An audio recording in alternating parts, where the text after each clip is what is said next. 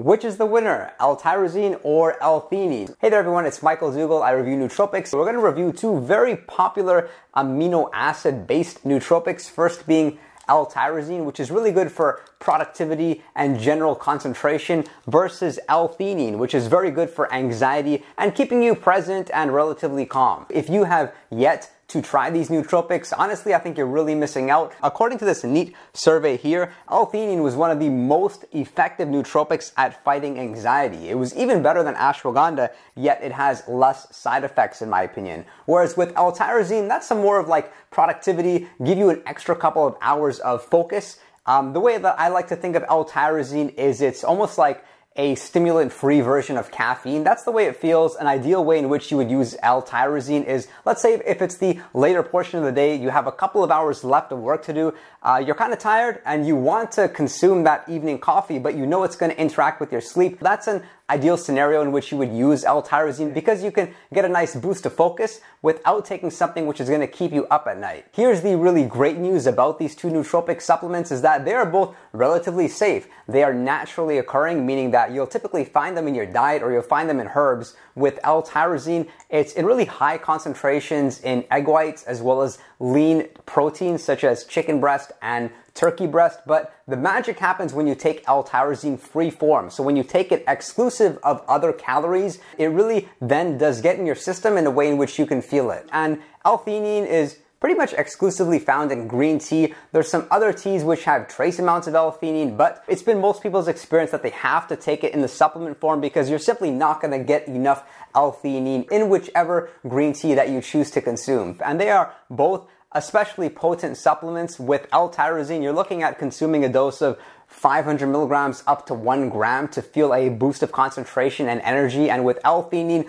doses of 100 milligrams to 200 milligrams are often reported to get people in that state of clear-mindedness and feeling very present and anxiety-free. The key distinction between these two products is that L-tyrosine is more for productivity and alertness, whereas L-theanine is for being calm and kind of getting in that um, state of mind you feel post-meditation. That's how L-theanine feels. It's very unique. I really not come across any nootropics that have this unique benefit. So it is very interesting, and I've noticed that with both supplements, you can feel them straight away. There are some signs showing that uh, there is a cumulative benefit when you take it every single day after a few weeks. You may notice it more. But what's been so for me is even just taking one serving of either of these makes it such that 30 minutes later, I can definitely feel it. I will say that of the two, I really like L-tyrosine. I like it far more than L-theanine. I feel like I can live without L-theanine, yet I still use it several times per week. So with L-tyrosine, the way that I was introduced to the supplement was uh, when I started weight training, I noticed that pre-workout formulas almost every time had L-tyrosine contained in their ingredient profile to not only help with focus, but as well help with burning fat and actually helping with power output or helping you have a better aerobic capacity to do more cardio. So I thought, hey, why does every pre-workout product contain L-tyrosine? I'll never know unless I try it by itself. And I went out and got capsules of 750 milligrams of L-tyrosine. I think it was by Now Foods. And I noticed that immediately upon ingestion, even without caffeine, I would get that boost of concentration. I would really get a lot of work done for about 90 minutes to two hours and couldn't believe that there were really no side effects for the most part. Maybe a little bit of anxiety, but none you could read about with consistency as far as people having like noticeably bad effects. There really wasn't any. And again, I've been taking this for a long time. I've not really even found the need to cycle off of it. The way that I'm taking L-tyrosine now is once pre-workout, I'll take one gram of it along with my favorite pre-workout. And then in the later portion of the day, if I need an extra boost of energy but I don't want to take caffeine, then I'll typically take 750 milligrams of L-tyrosine. These are capsules from Nootropics Depot. These are 500 milligrams each. Um, the dose doesn't really matter that much. I've not found there's that much of a difference between taking like 500 milligrams or one gram. It seems to just make the L-tyrosine uh, focus boosts last a little bit longer. For some people, they need to take doses of up to a gram, but not myself. That's going to depend on you, just like how some of us are more sensitive to caffeine than others. Don't expect this stuff to work the whole day. It most likely won't. I think the best benefit you'll get is maybe for three hours. I have found that people with ADHD or ADHD-like symptoms, they really like taking L-tyrosine. Often people report taking it three, even four times a day. Just be mindful that it does boost your dopamine levels quite significantly. So if you feel like like you're kind of um, off the normal balance of serotonin to dopamine, then you may want to be a little bit more mindful of how much L-tyrosine you're taking, which I've discussed in this video. I'll link right here on how to take L-tyrosine. And another neat benefit is this stuff really works when you're sleep deprived. L-tyrosine is a supplement that really shines when you're somewhat stressed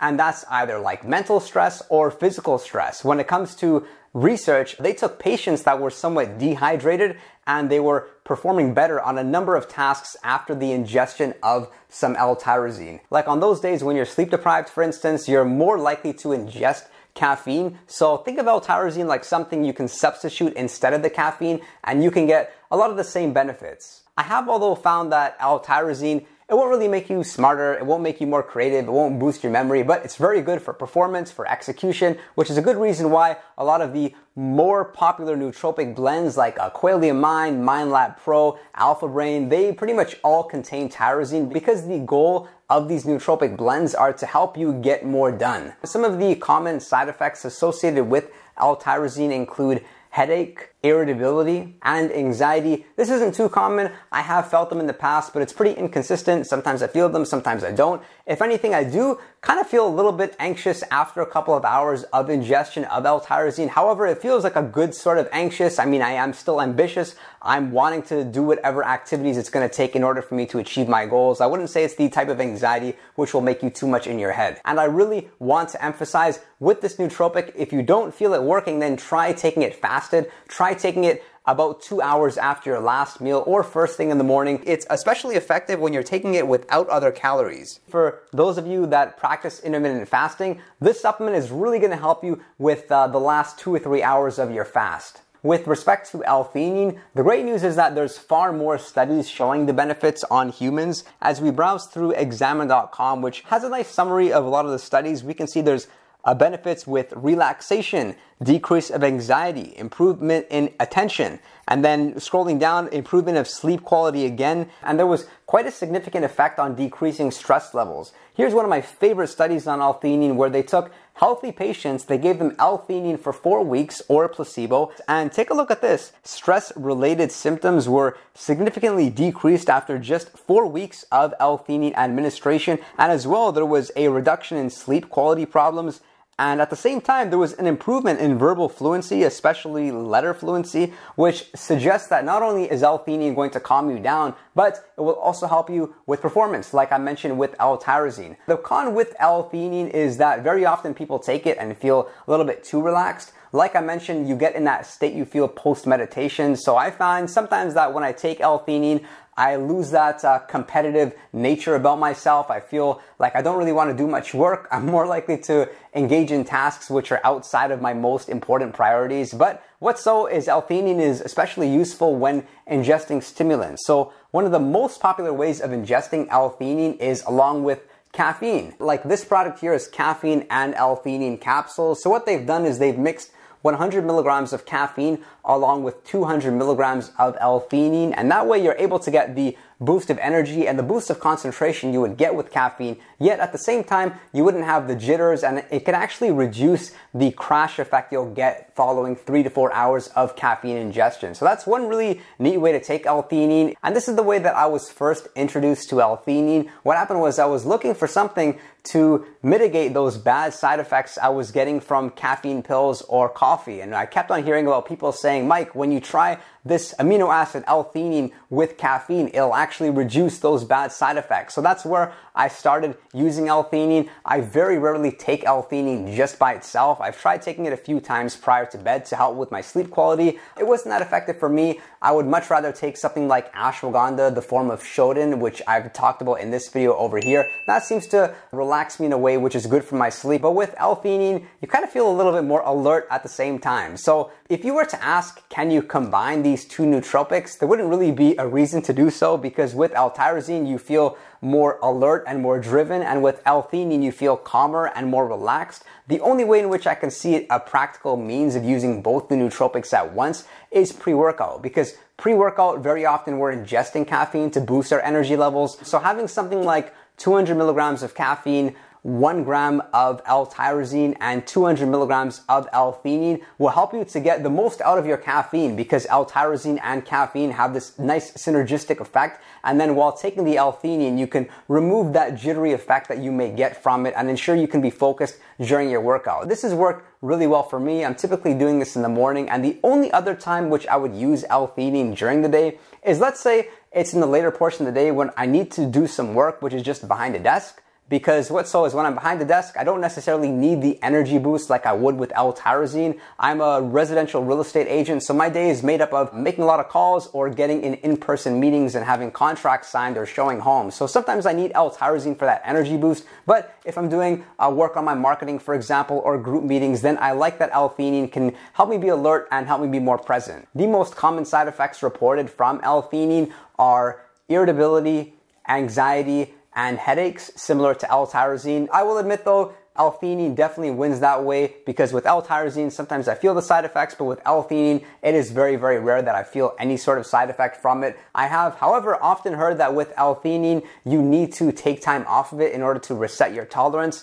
A lot of people say, Mike, I've taken it for a few weeks, but now when I take it, I don't feel anything. I really find that a bit hard to believe because it hasn't been the case for me. In any case, though, this is a great nootropic supplement. I would rate L-theanine an 8 out of 10, and L-tyrosine I would rate 10 out of 10. Again, I just absolutely love L-tyrosine. Even when L-theanine was so hyped up about four or five years ago, I was saying to everyone, L-theanine is great, but have you not tried L-tyrosine yet? Because if you're looking to make more money, be more productive, if you're a student, get better grades, then L-tyrosine is one supplement which will definitely give you that competitive edge. I would really love to know your thoughts. Please comment, what do you like more, L-theanine or L-tyrosine? And if you got value from this video, please consider subscribing, give the video a like, and make sure that you join our Discord chat. We're having a lot of fun there, educating each other on nootropics, and I will look forward to seeing you all next time.